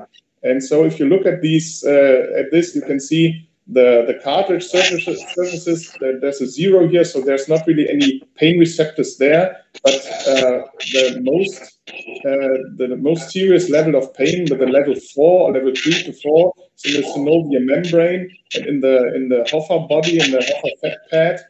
Uh, and so some areas are not really you cannot really tell where the pain is originating from. Any, anything that has a B here, the researcher couldn't tell where the pain is originating. So the knee doesn't have proper receptors to really tell where the pain is coming from. And patients will have very weird symptoms and very weird uh, sensations from the knee, and you cannot really trust on their um, on what they are telling you is it posterior, anterior, whatever, because the receptors might not even be there. So sometimes you see X-rays like this, and then you can say, okay, I probably know what the problem is here. Uh, sometimes you have X-rays like this, so you say, okay, the alignment is not really uh, perfect. There might be a mechanical problem. There might be a, a matter of stability uh, or a matter of uh, implant positioning. And sometimes you have images like this. Okay, you see this is a total rotating knee, uh, cemented, and you see a little bit of uh, implant loosening around the tibial implant, but the stem looks quite stable again, and the femoral part looks stable also and it's fully cemented, so it's really not uh, much fun to revise, and it's uh, actually uh, likely that you will cause a lot of damage to the knee if you go to surgery in this case. Especially, you need to know what the problem is. We do bone scans, uh, scintigraphy in some of these cases to verify the loosening uh, of the uh, of the knee. But in my practice, I see very heterogenic results. It's not really it doesn't make any sense to do this within the first 12 months of surgery because you will have positive results in all your cases, and they are very hard to interpret and very hard to read correctly. Uh, uh, um, colleague to, to help you read these. Uh, and uh, actually, the results are not as promising as we thought like 10 years ago. And um, I don't think this is the, the key success here. So um, the, the issue is you need to do your diagnostics uh, fully. And this is a, a, quote from the famous novel House of God. If you don't take a temperature, you can't find a fever. And so uh, Jay who might well be considered one of the opinion leaders in uh, revision arthroplasty from the Philadelphia uh, research group, um, he published this in 2012, and he says with revision total knee arthroplasty infection should always be ruled out. So always do your full workup. And this again is the question we have to discuss afterwards. Do you agree? Yes, a full workup is necessary in all cases to do. Or uh, if you see a mechanical problem, if you see a implant loosening, or if you see a malpositioning, you say, okay, I have a reason, so I don't need to do the full workup. I can just go to surgery like that uh, is it something really uh, pay a lot of attention to? So the problem with the uh, infection workup uh, is something I like to, to coin as uh, dangers versus strangers. So, and this comes from the immunological uh, paper.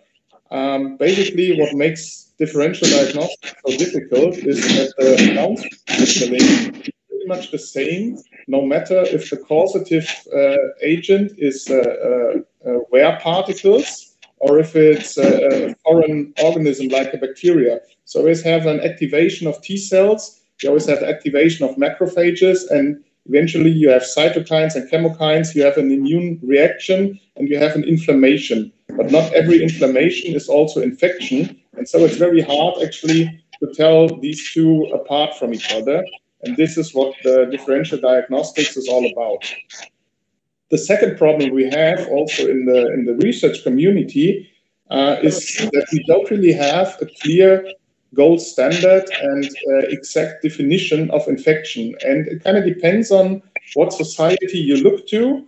Um, uh, the MSIS has defined these major and minor criteria. In the last meeting, they came up with a, the scoring system where you add scores for certain uh, tests you do. Then there's the, the uh, IDSA. They say, okay, if any one of these four criteria is present, there might be a PJI.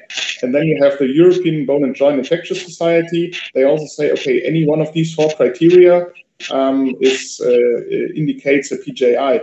And so, depending on what uh, definition you look to, you have very different results. Uh, if you put in your, your test results to get the result, is it infected or is it not infected? And as long as we don't have a gold standard as a definition, it's really hard to, to get comparative results because the studies use different uh, patient groups. The main problem with uh, implant uh, diagnostics is the biofilm. As you all know, bacteria will stick to the implant surface uh, and create a biofilm within, uh, the process starts within hours and is uh, probably finished within days. And as soon as the bacteria are encapsulated in this biofilm, uh, you will not get them off the implant without removing the implant. So it's essential to know beforehand if you have a biofilm or not. So sometimes the vision would be as easy as this. So of course you cannot detect uh, your bacteria in uh, in any diagnostic like this uh, easy. So what do we have? Um, we have the detection of the pathogen itself in the microbiology, or we can try to detect the host response, detecting serum biomarkers by doing fluid analysis, by doing histology of tissue samples, and by doing radiologic imaging. And this is just a small collection of markers that have come up in the last years. And so I want to go through them with you.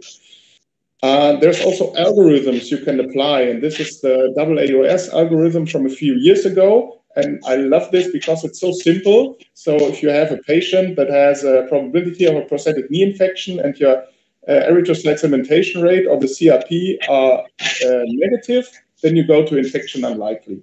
And I think this is a, a very American concept because it tries to avoid the problem at all costs. So as soon as you have normal blood values, you can just say, okay, infection is unlikely, I don't need to do anything anymore. This is not our algorithm, and this is not what we do. We always go to joint aspirate, and we always go to the full workup, even if uh, the lab stats are normal the external uh, inspection of the joint can be helpful if you have a, a very obvious um, um, uh, inspection here. Uh, as soon as you have a, a, sinus tract, this actually proves a PJI. Uh, sometimes you have what we call the positive mirror sign. You remove the, the bandage and you can look onto the prosthesis. Of course, this is infected, needs to go out. But uh, the uh, draining sinus is very rare. Actually, only 11% of the patients that are, have a chronic infection do present with a sinus strain. Uh, but if you have it, the specificity to detect PJI is actually uh, 100%. But in many cases, all external signs of infection can be missing. The knee, the hip, whatever you look at, can look perfectly normal and still can be infected. So do not trust on a negative inspection. In means of lab stat, I think I think the C-reactive protein and the leukocyte count in peripheral blood are the most uh, established infection parameters.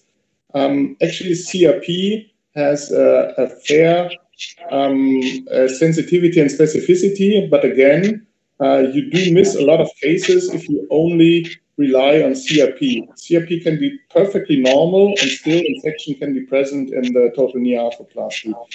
Uh, for leukocyte count in peripheral blood, it's not really useful. Um, uh, you have very, very low sensitivity. Many patients with chronic low-grade infections do not have elevated uh, white blood cells. Um, but if you do have elevated white blood cells with no other focus, the specificity is uh, quite good, and you uh, need to consider uh, AI as possible uh. Gold standard to diagnose might still be the joint aspirate. This is uh, a paper from uh, Andrej Trampuz, which kind of made this, this method uh, popular. Uh, and this was uh, published in uh, 2004 already, but still uh, stands and still the, the cutoffs haven't really changed much. Uh, so anything above 1700 leukocytes per microliter, anything above a percentage of 65% neutrophils in your aspirate are suspicious of infection.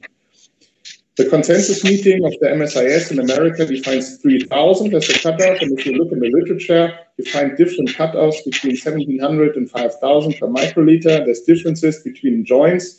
Um, seems to be that uh, knee joints have a little lower cell count than hip joints, and so the um, the truth may be somewhere in between. It's not a black and white thing, but the more cells you have, the more likely it is you have infection. The higher your percentage of neutrophils is, the more likely you have infection. Um, but again, it's not a black and white thing, and you can have infection with low leukocytes, and you can have uh, other reasons for loosening uh, or for persisting pain with high cell count as well. So we looked at this uh, last year, uh, and we tried to find if we could make a more precise analysis of the joint aspirates, and this is uh, more into the basic research, but I want to, to show you that uh, there's research going on in this area. And so what we did is we um, marked the uh, neutral, the leukocytes with many different markers, uh, not just to differentiate between neutrophils and uh, non-neutrophils, but also to detect T helper, T killer cells, CD3 positives, uh, natural killer cells, B cells, and so on and so on. And then you get, so if you send them through a FACS analysis, you get very specific patterns of uh, um, leukocyte uh, types. And then you can compare these clouds and these patterns, and you can analysis, uh, you can do uh, analysis of this. Then you get certain patterns of um, different reasons for uh, um, failure. But this is nothing for the clinical routine because most likely your lab will not uh, deliver this kind of a precise analysis, and you can only do this if you have a fully equipped uh, FACS facility with all the antibodies and everything, and it takes a lot of time and it's quite difficult. Uh, but we are working on something like a, a quick test or a, a, limited panel that you could maybe imply for this, so maybe we have a better, uh, more precise analysis uh, uh, within the next few years. So this is the contrast. If you don't have a lab available at all and don't and you can't do a cell count at all, then leukocyte esterase comes as a very cheap and easy alternative. Basically, this is a, a urine analysis uh, stick that you can use, and it has a leukocytes uh, uh, detector on this, and you can put a little bit of of uh, synovial fluid on this, and then you get either a, a positive or a negative. The bad thing is that it turns from yellow to uh, purple, and if you have blood in your aspirate, it turns to red or purple and looks like it's positive. So it's very prone to blood contamination. And as soon as there's blood in your aspirate, you cannot really use it. And it's uh, if you have the cell count available, you should use that instead because it's much more precise. This is just a surrogate marker or an alternative if you don't have a lab available. The second thing you always need to do is uh, you need to do microbiology from your aspirate. And in our practice, um, it's very useful to use blood culture bottles uh, with the proper medium to send your aspirate because you have a much better detection rate. You can use the standard aerobic and aerob uh, culture bottles, but you need about 10 milliliters of fluid per bottle. So you need sufficient material. From a knee joint, normally you get quite a bit, so you can use that. If you have very little amount, we use the pediatric uh, blood culture bottles. They only need one to three milliliters of aspirate, so you can work with small volumes. And also, they are not uh, selecting either aerobic or anaerobic bacteria, but they are more like a general medium. And you should always send these bottles as soon as possible. Don't leave them lying around. As, uh, they should be in the lab as fast as, uh, as possible.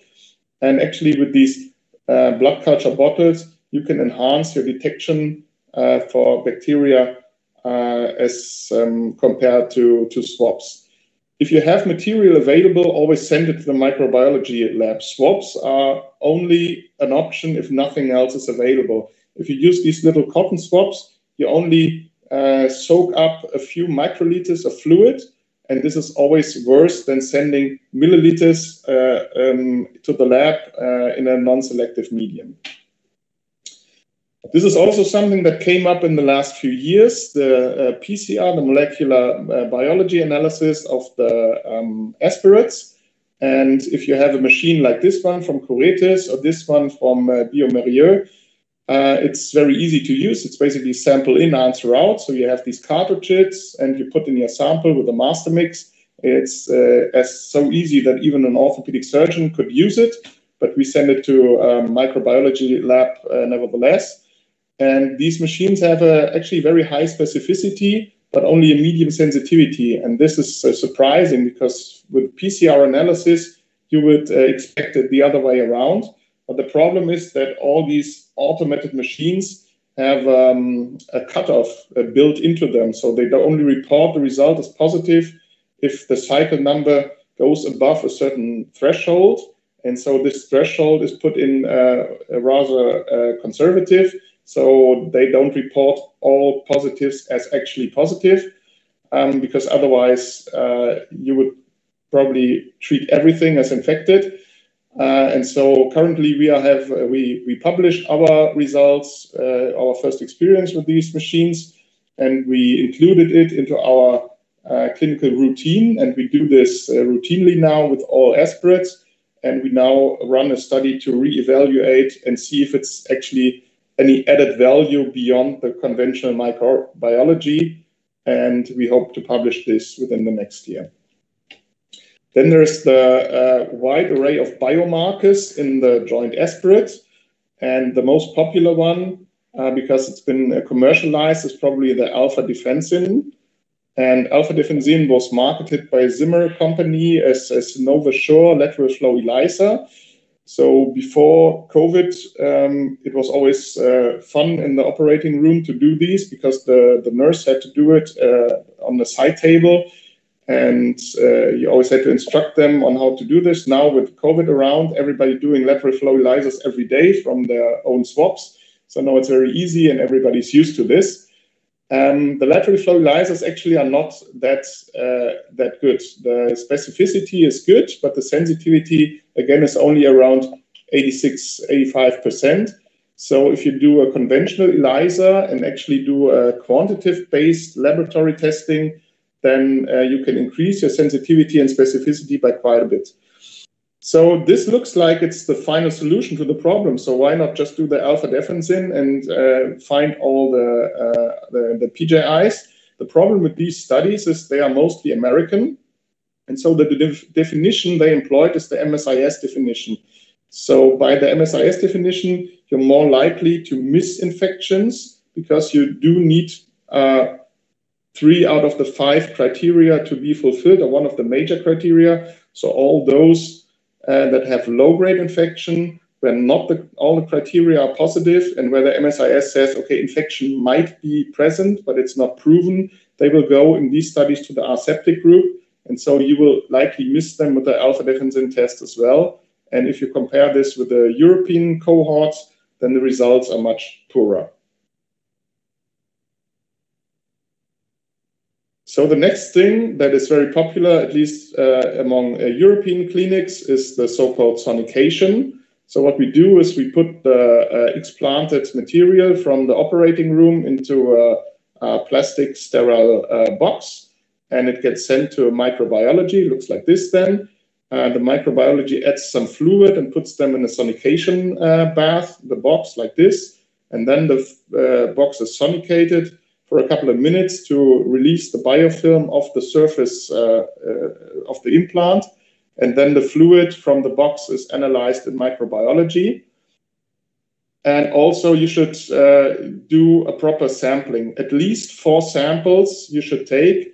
Uh, anything beyond seven samples is maybe not uh, not useful. Uh, in in our hospital, I'm known for taking a lot of samples. Of, of course, I'm also interested in this scientifically and always want to know where the bacteria are hiding. Currently, we are doing analysis of uh, which sampling site is most likely to give you correct results. So we're comparing uh, if it's rather capsule or synovial tissue or interface or um, intramedullary samples that give you the correct result. We always do the cell count, we always do the microbiology, and we always send everything that's explanted to microbiology for sonication. So there's a couple of new uh, things uh, around that have been published in the, in the uh, past two or three years that I want to, to show you as well. So the one thing was uh, plasma D-dimers, that this was published in the um, Parvizi group a couple of years ago, that they are a good uh, markers for periprosthetic joint infection. And here from a Chinese group, they are publishing uh, plasma fibrinogen uh, to have a very good uh, differentiation between septic and aseptic uh, prosthesis uh, problems, and an area under the curve of around 0.85, and better than CRP, better than D-dimers, better than white blood cell count.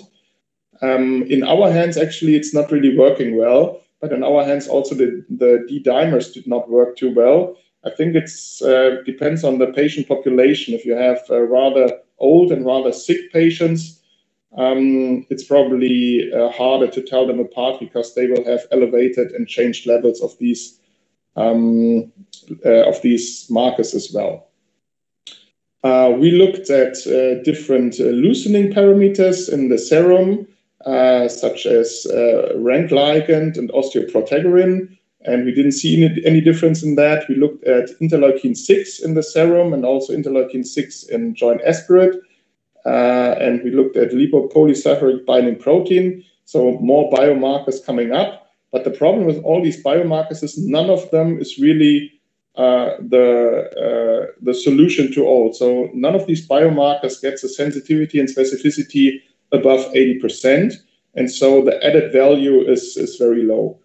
We tried to combine different biomarkers. We did uh, where you can do uh, 12 to 16 targets in a very small volume. Then you can do models uh, of the, all these different cytokines and try to evaluate uh, where you're going with this. But again, this is not suitable for clinical routine because no lab will do all of these cytokines from a small sample of, uh, of uh, synovial fluid for you. And again, we need to work on a um, suitable model for point of care testing, maybe lateral flow ELISA with different targets or something like that. But as you can see, there's uh, work uh, going on. We also looked at complement factors again, very complicated, and uh, some are elevated, some are not, and again something to look into and to uh, reevaluate for the for the future. So just one uh, small note uh, on the other differential diagnostics you need to consider. Uh, and I'm really interested in your uh, question and answer uh, session on the um, on the issue of allergies because I get the feeling that this is a very European or very German topic, and the American papers don't really discuss this. So uh, in Germany, uh, allergy testing are quite popular in patients that have a painful knee arthroplasty, uh, especially if you don't have any other obvious problem in your patient. We do uh, um, uh, uh, allergic testing to the metal components. And if the patient says he, is, he has a known hypersensitivity, then we tend to use hypoallergenic implants with a coating on them to, to kind of mask the cobalt chromium uh, in the in the arthroplasty components. But uh, it's an ongoing debate if this makes any sense at all or not. And recently, studies have come out that show elevated serum levels of cobalt and chromium in patients, especially with uh, uh, hinged uh, arthroplasties and revision arthroplasties. And nobody's really sure on how to interpret this and if this is uh, of any um, any interest. So this is a, a, case we had. A patient was presenting with this um, uh, total knee arthroplasty, and we did all the workup. We couldn't find anything and then we sent them for um, for allergy testing, and we can see uh, this is the the panel we are testing. It's the metals. It's uh, certain um, uh, bone cement uh, particles that we are testing, and so you can see a reaction here after 72 hours to benzoyl peroxide, which is in the bone cement. And so um, this is something uh, you need to also um, look forward to uh, if it's if it's present and consider uh, uncemented knee arthroplasty beforehand. And also we tested her for titanium uh, alloys, and she was positive to titanium, aluminum, uh, vanadium, which is kind of the standard material. And in this case, the stem here and the tibial plateau are made of uh, this material. And so it might be a reason for the uh, problems she ha she's having also. The problem with this case is that you don't really have an alternative. So you cannot uh, pick a, a prosthesis that is free of these materials. You can only use coating to kind of mask them and to hide them uh, in the uh, so they don't get released. So when you find the problem, you always have to see can you actually uh, rule out other problems? Is it uh, possible to do a surgical procedure that you can perform and that the patient is willing to uh, to get that will uh, help you fix the problem? Uh, are there non-surgical means that you can employ and that you can use? And then you come to the operative uh, solutions you can have. actually, the most common ones, uh, common ones are probably arthrolysis. So you reopen the joint, you remove scar tissue, and you make the uh, you get the range of motion increased. Um, then patellar resurfacing.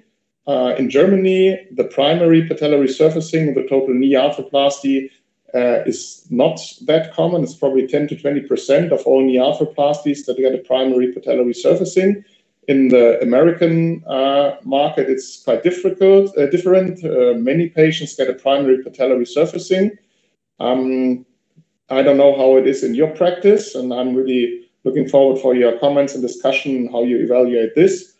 So then what's done a lot is the, the inlay exchange. So you put an inlay in that is a little higher to get more um, ligaments stability.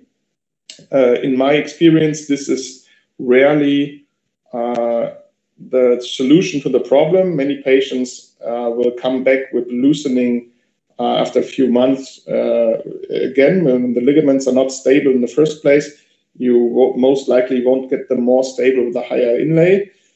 And so, if these things don't work, then you have to think about exchange of the total knee arthroplasty or removal. And so, if you think about exchanging or removal, especially in, if infection is uh, suspected. You need to consider uh, how long the duration of the symptoms is already going on. Is it acute or is it a chronic situation you have? And again, it's a matter of the biofilm. If the um, duration of the symptoms of the pain is more than three weeks, then most likely your biofilm will be mature and you will not be able to uh, save your implant. So you will have to go with an exchange. Um, if the patient is presenting with an acute problem, acute swelling, fever, acute onset of the problems, then you can perform the debridement and uh, implant retention antibiotics and try to save your implant. So a German uh, working group has uh, presented the idea of a new definition of a periprosthetic joint infection. And uh, actually, this paper is still in German and there's no uh, English translation so far, but we are working on an evaluation of this new definition. And I just want to briefly show this to you because what they are doing is uh, they borrow the TNM classification system uh, that is known from uh, malignancies and they apply it to different criteria of prosthesis infection. So they do tissue and implant conditions. Is the implant stable and how do the soft tissues look around? Uh, then N is for non-human cells. So what kind of bacteria, what kind of pathogens uh, is in there? Are they difficult to treat? Uh, is there a, a um, fungal infection? And then M for morbidity. So, what are the comorbidities of the patient? Is he actually able to undergo another surgery or not? And I like this uh, classification a lot because it pays respect to the very, very complex uh, overall situation of these cases. Not just uh, onset of the symptoms, but it also considers how do the soft tissues look, how do the uh, how is the patient? Is he in a condition that you actually can perform surgery or not? So these are all things you must consider before you go into surgery. Also i like this classification because uh, the tnm gives the uh, uh, reminds you of the malignancy of these um, uh, these diseases. And actually, this is a, a quite recent publication from the Journal of Arthroplasty comparing the five-year survival rate of periprosthetic joint infections of hip and knee to um, survival rate of uh, uh, common malignancies. And as you can see, you're more likely to survive uh, a carcinoma of the breast or carcinoma of the prostate than to survive a periprosthetic joint infection of the hip and knee. So I think this is not really uh, in the heads of our patients and probably not really in, in our own daily practice as well, that uh, periprosthetic joint infections are indeed uh, a very malignant and very dangerous uh, disease, and that patients will eventually die from these uh, uh, from these um, diseases. And that's why you have to be so careful with your diagnostic workup and with your treatment. I'm sorry, the slide is in German. I couldn't translate it because it's a it's an image. So if you do the treatment options, uh, your options are basically debridement and implant retention.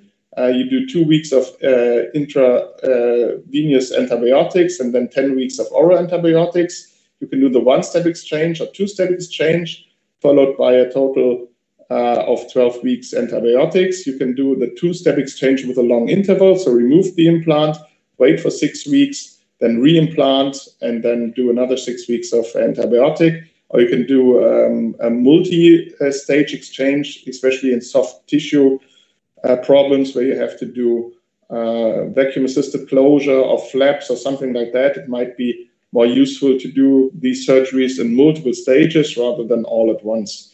I think this is very well established in the international literature, and these are the options uh, that are uh, well known.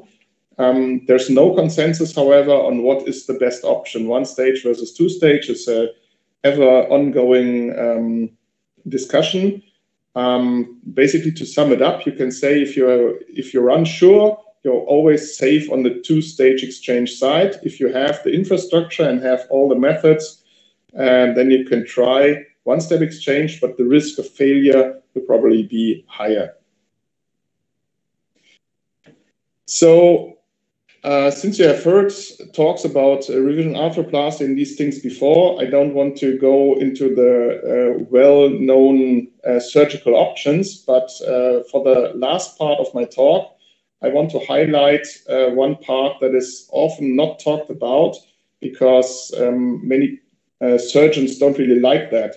And we do need to consider that not every patient is suitable for a one-step or two-step exchange procedure and that we do fail in our treatments occasionally. And so, if um, anything else fails, then we have to consider salvage procedures, especially in very old patients, especially in low demand patients.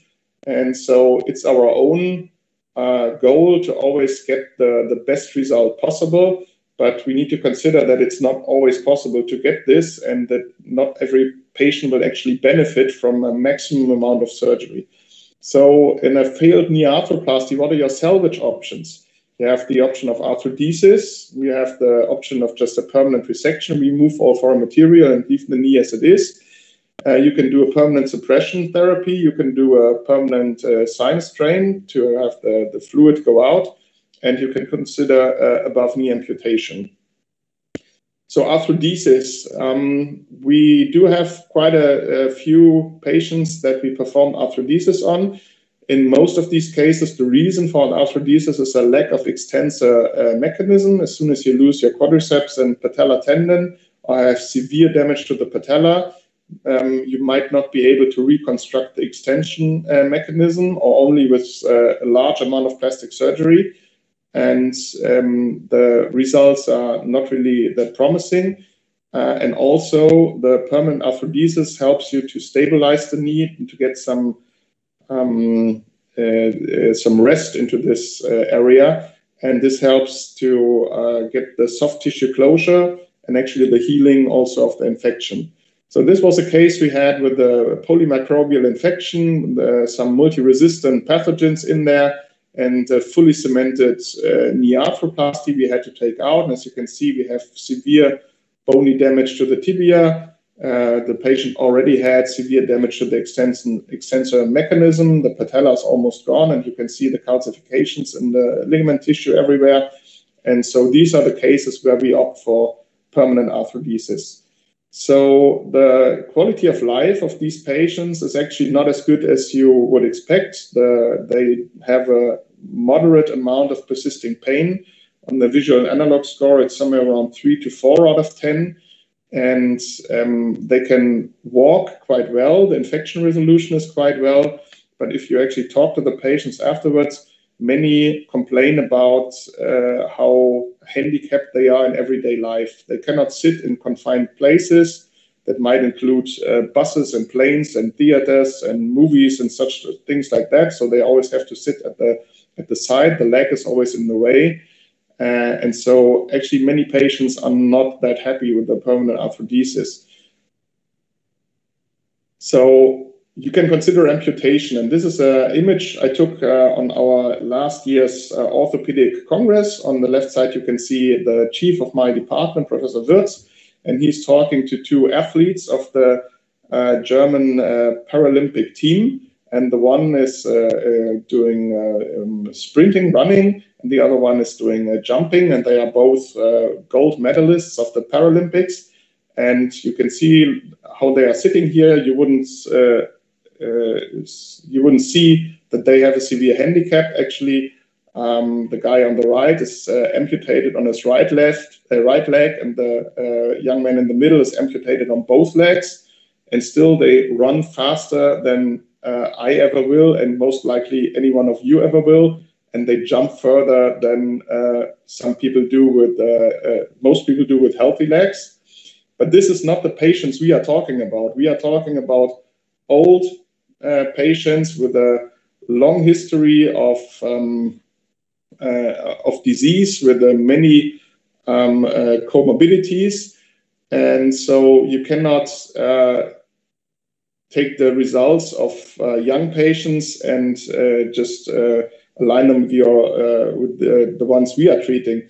And so, if we have cases like this, again, fully cemented rotating knee, uh, infected, no chance of cell uh, salvation. Or this one, uh, again, extensor mechanism was failed. The knee arthroplasty was infected for, I think, the second or third time. So this, uh, these patients opted for above knee amputation. And you can see here with the cemented stem in there, the bone quality was poor. A lot of bone was lost and the, um, the stump is rather short. Uh, and actually, if you look in the literature, the results of the amputation or above knee uh, amputation are not really uh, very good. Uh, about 50% of the patients that get amputated due to a um, failed knee arthroplasty will never walk again. Uh, so 50% of these patients are stuck to a wheelchair or will be bedridden. Um, the, from the other 50%, about two thirds can only walk short distances and they need walking aids like uh, crutches or a, um, a, a, rollator to, to lean on uh, to walk. And so this leaves about 20% of all patients that get amputated that can actually walk uh, with an exoprosthesis and get a decent uh, uh, mobility. So this is something you need to consider and also need to tell your patients that many of them will still be stuck in a wheelchair uh, and not be able to ambulate. So the last option is the permanent suppression or the permanent fistula. And this is a um, case of our own practice as well. A patient got a, a total femur due to a sarcoma, and she suffered from a, a chronic low-grade infection. And so uh, she got a, a permanent drain from us which is uh, working quite well. The, the drain is, um, is oozing a little bit of fluid all the time. But if you look at the X-rays over time, you see that this does not stop the, the osteolysis. So the, the bacteria are still on there and they will still cause a permanent activation of the immune system and a permanent um, uh, immune reaction. And so this will cause uh, loosening of the implant, osteolysis, and as you can see, the cup is eventually failing and breaking into the uh, the acetabulum. And uh, in the end, um, this uh, seldom goes well for a, for a long period of time. So the permanent suppression or the permanent fistula you can consider for patients with a very short uh, life expectancy for a year or two.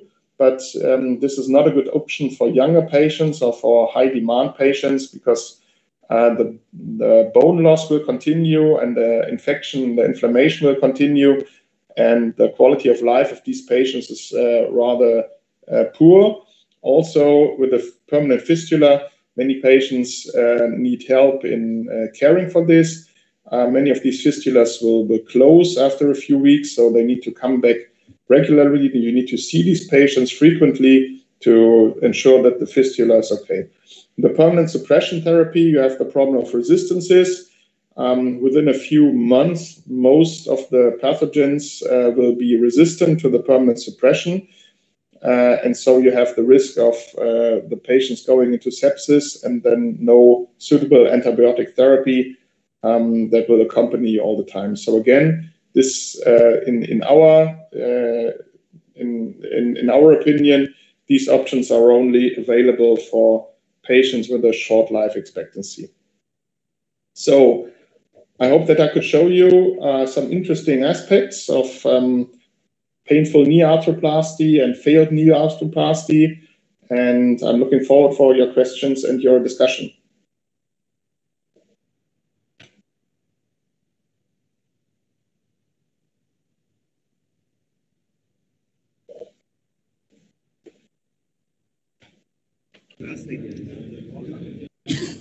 Thank you very much, uh, Professor Randau, for your very elaborative lecture on uh, prosthetic joint infections. Just a couple of questions. How do you choose your patient between amputation and arthrodesis? Um, Can you hear me, Professor Randau? Yeah, I can hear you. So the question is to uh, how to choose between amputation and arthrodesis. Okay, so um, uh, most of all, it's a it's a decision of the patient itself. So you have to uh, educate your, your patient on the pros and cons of these two um, options. Actually, I tend to uh, older patients. I will more likely tell that the arthrodesis is uh, more suitable for them because they will have a, a, stable support and they will be more easily be able to, to ambulate and to walk, while younger patients with a higher demand are better off actually with the amputation because if they are able to get an exoprosthesis with a knee that can bend, they have a, um, a more natural walking uh, uh, uh, gait and they have uh, they are not as limited in their everyday life when it comes to confined spaces. Finally, the last question from me. What is your personal experience on single stage review? Well,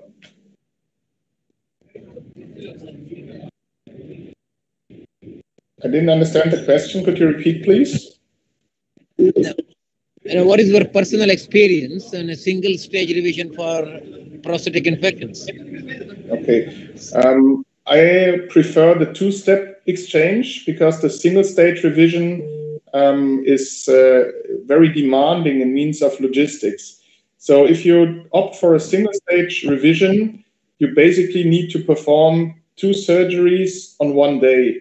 So you remove your implant, you clean out everything, you debride very thoroughly, uh, you put in uh, um, uh, some uh, irrigation fluid of, of your choice. There's no really evidence on uh, what is the best. And then you do like a, um, a, a, closure of your wound. Um, you do a redraping. You exchange all your instruments. You scrub in again, and then you start the second part of the surgery, and then you do the reimplantation. So, just from the lo- logistic point, this is very demanding. You need to have a very good setting. You need to have an excellent operating team to get this all done properly. And the risk of uh, carrying contamination from the first part of the surgery to the second part of the surgery is very high. And so we prefer the two step exchange. And what we like to do is the two step exchange with a short interval. So we do 14 days of uh, prosthesis-free interval or spacer interval if the pathogen allows. If it's not difficult to treat, if you have oral antibiotics available for for the treatment afterwards, uh, biofilm active, then we tend to do a two-step uh, exchange with a, a, short interval. Thank you. Thank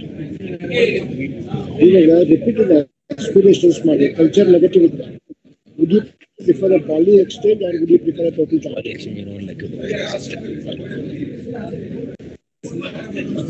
Any other causes? Any other questions from the audience? No, no question. You are, you are the boss. You ask us. Okay.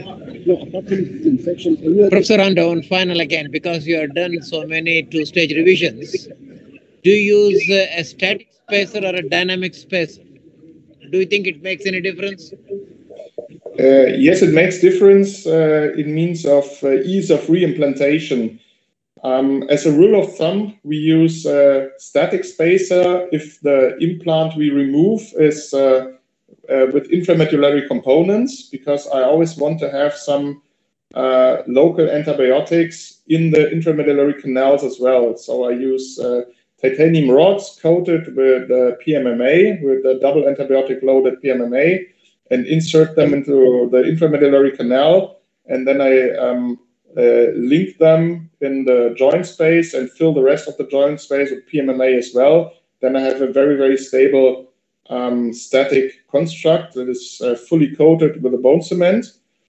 Um, but if I remove a resurfacing, then and the intramedullary canals are closed, then I tend to leave them closed and do a, um, a mobile spacer. That uh, I, I use silicone molds to form them to look just like a, an- a knee implant, and I put them in place with a little bit of bone cement, and then I have a, a very good mobility, and the patients can actually move the leg in a full range of motion if it's done properly. They cannot, they should not have load bearing because the spacers can break easily.